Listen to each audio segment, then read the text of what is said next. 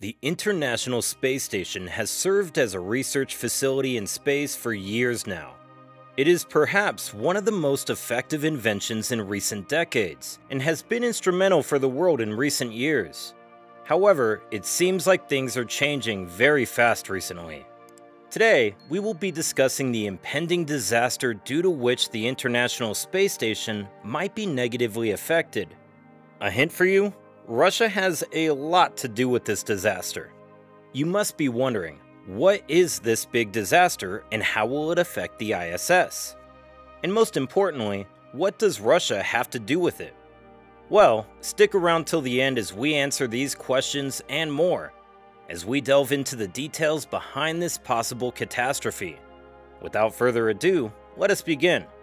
To understand the topic at hand first, we need to learn about how the International Space Station first came into being. Flashback to the 80s and 90s. We all know how the world was still recovering from the effects of the Cold War that had been going on between the United States and Russia. But like all things, this had to end. And many experts think the formulation of the International Space Station played a huge part in unifying these two superpowers and putting an end to the Cold War. The $100 billion complex, roughly the length of a football field, was built together by the Americans and the Russians. It is divided into two main components, one of which is managed by Russia and the other by the US and other nations. As you can see, the two nations played a huge part in how the International Space Station came into being.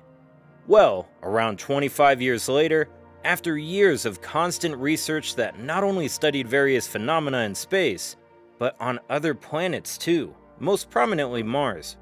Speaking in 2001, alongside George W. Bush, who was the president of the US at the time, Putin raised the ISS as an illustration of the extremely successful bilateral relations between the two nations.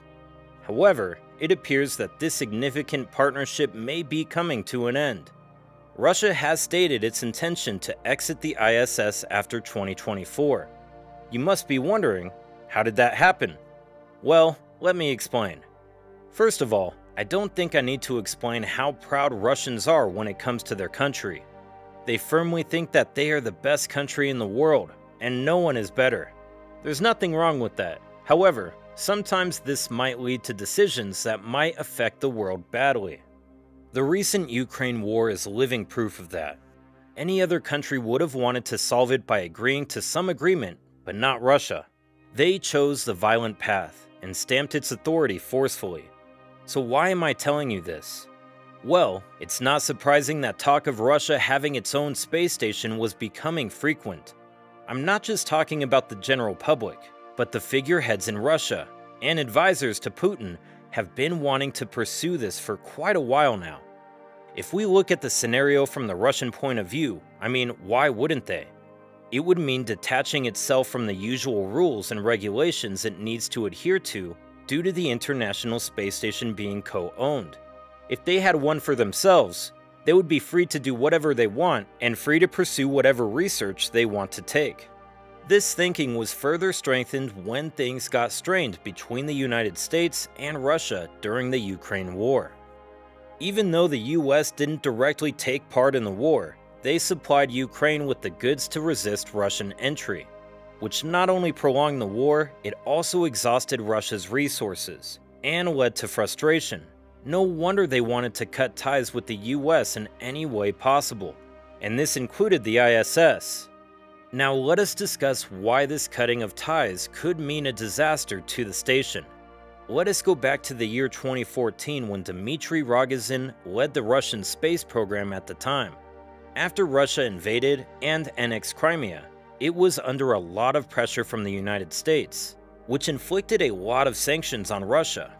In response, Rogozin famously said that Russia will hold the International Space Station hostage and Americans can come to the space station using a trampoline, as Russia will not allow its ships to attach to the station. He issued the same threat later on. He also further said that the International Space Station normally takes a trajectory over most of the United States and other European countries, but a small part of Russia. So, if the space station were to stop working, it would most likely crash on the United States. This was a clear warning to the US, and Russia was basically portraying the power it had over the ISS and showcasing how things could go from bad to worse if the United States continues to oppose Russia. Realistically, this is quite unlikely to happen, but theoretically, it could happen. As Russia is known to make its own decisions and does not care about pressure from other countries. The recent Ukraine war is a clear example of that. It could, if it wanted to, seize control over the ISS and cause it to crash into the US, which could result in a major disaster if the United States continues to challenge Russia in the Ukraine war. But now, it seems that Russia is planning to build another space station which would be controlled exclusively by Russia and will not have any influence by the United States. Let's see what the future holds for Russia in the matter. Who knows, their space program might skyrocket as a result of this new space station, we can only wait and watch.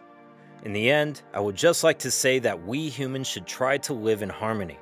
At the rate at which the world is degrading, who knows when we won't be able to live on Earth anymore at all? We should stop these wars and opposing each other. Instead, we should push our egos aside and work together to find an answer to this emerging problem before it becomes an emergency. Either we can solve the issue at Earth and find a way to make it sustainable forever, or explore the space around to find a new planet in which humans can survive. Both things will take a lot of time and resources. So uniting and working together will serve us best to tackle the problem. I hope this Ukraine war is the last major conflict we see, because it does nothing but limit peace and harmony in a world. And that's it for the video. I hope you liked it. Please let me know by pressing the like button and if you haven't done so, please subscribe to the channel and hit the bell icon for future notifications. Until then, take care of yourself, and we'll see you guys in the next one.